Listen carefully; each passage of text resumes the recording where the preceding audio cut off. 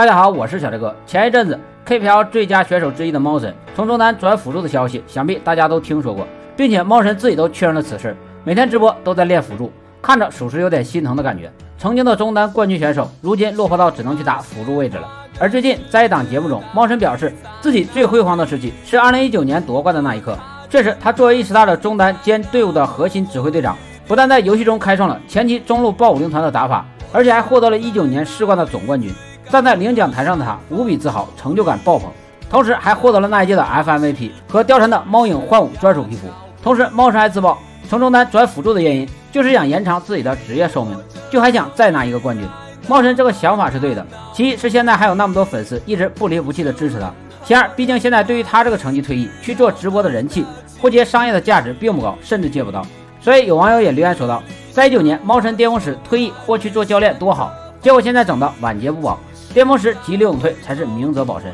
可谁又不想在巅峰时多拿几次冠军呢？其实不管怎样，作为职业选手，猫神已经很成功了。对此，小伙伴们认为猫神转辅助会再次打回巅峰吗？